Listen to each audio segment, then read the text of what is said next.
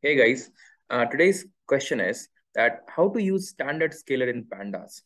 So let's understand what exactly this standard scaler does and how do we use that in pandas. Okay, so so let me just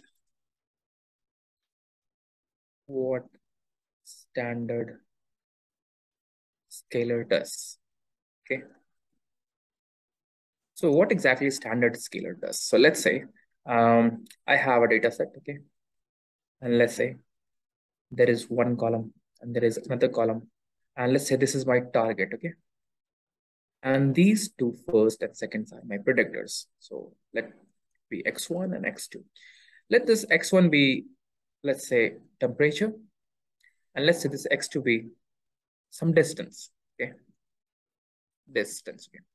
And temperature is let's say 32 distance is let's say 1500 36 let's say 2000 um 31 let's say 2600 and let's say 32 and let's say 2000 okay. So as you could see as you could see as you could see if i just take my x x1 and x2 x1 and x2 this x2 is or rather I should say, uh, take this as x1 and take this as x2. So as you could see, your x1, which is basically lying in the y-axis, which corresponds to temperature predictor, its range is quite small. It's like going from, you know, let's say 25 degrees to maximum of 45 degrees. But if you see the distance, which is lying in the x2 axis, its range is quite high. It's like it could be zero distance and it's going like 2000 kilometers, right? So we could see that the interval for one of the predictor and interval for another predictable uh, predictor is not in the same scale. One is having a very less scale and one is having a very high scale. So what will happen in this case? Whenever you try to build a machine learning model which is using distance-based algorithm as one of its metric to compute, it will get biased towards this particular predictor, which is having a very high scale for some reason, okay? And there will be a chance that even this temperature predictor is important for the current scenario that we are working. This will not get that much importance by the model itself. So in order to get rid of this, what we essentially does, we use standard scaler.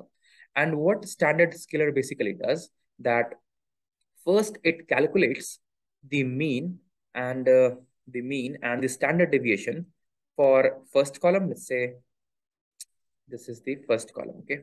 This one is temperature and this one is, let's say, distance, right? So what it does, it computes mean and standard deviation for this column and mean and standard deviation for this column.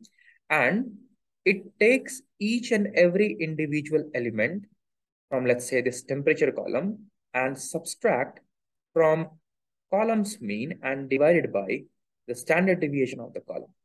And so it does it for each and every points present in this data set. So for distance, there will be some points. It will subtract the mean value of distance from that point and divide by the standard deviation. And so it does for all the points that are present, okay? Now, when you do this, eventually what will happen? The mean of the respective column will become zero and uh, sorry, mean of the respective column will become zero and standard deviation, standard deviation will become one. So, so does for this particular column also, the mean will become equals to zero and standard deviation will become equals to one. And more or less, when you plot your data, let's say you plot your data, this is your, um, was your x1 and this one was your x2. When you plot your data, you'll see that that after scaling, all of your data gets centered towards the mean value. Okay, gets centered towards the mean value. And the standard deviation will be 1 somewhere. Not exactly, but 1. Okay. And the mean will be, if not exactly, but somewhere around 0. Okay. This is what happens after scaling. The data gets scaled and uh, now every feature starts getting the equal importance by the model. So how do we do it in Python? Let's see. So for that, I'll just import my pandas. And then I'll say, I'll take a df and uh, I'll say pd dot read underscore csv. And inside of it, I'll take diabetes data set. Let's see. So as you could see that this is my diabetes data set. So what I'm going to do first, I'm going to break this data frame into two parts. That is X, that is the all the all the all the predictors, and Y, that is the target. So what is the target? Target is the outcome, and remaining these all are the predictors. So I'll just choose my X equals to. So if I say df dot drop and then I say outcome simply. So what I'm doing that um, dropping the outcome column from the data frame so I'll say axis equals to one. And simply I say y is my outcome, which is not going to get scaled anyhow. So I'm just scaling all my predictors, okay? Now, now I have bifurcated my data into X and Y. So I require a standard scaler library in my system. For that, it is available in scikit-learn's uh, you know, a module. So I'll say from sklearn and the sub-module name is pre-processing. So pre-processing, import standard scaler, okay? When you have this standard scaler, then how do we use it? First, we create an instance. So I'll just say scalar, which is nothing but one of the variable that I've said. And I'll create one instant of standard scaler over here. And then I'll use this object for, for transforming, transforming my non-scale data to scale data. So I'll say scalar dot fit underscore transform. So when I say fit underscore transform, and if I put X, what is essentially is going to happen? We have two things. One is called fit and one is called transform. So the moment I say fit, it means that learn all the parameters. So what are those parameters over here? If I just come up, I have said that at first it learns what is the respective mean and standard deviation of the columns. So this is what fit is doing. Fit is making the model learn about the mean and standard deviation of particular column. And when we are doing transform on top of that, it means that you start subtracting from each and every point the mean value and then divide it by the standard deviation. And you have to do it for all the data points present in the data set.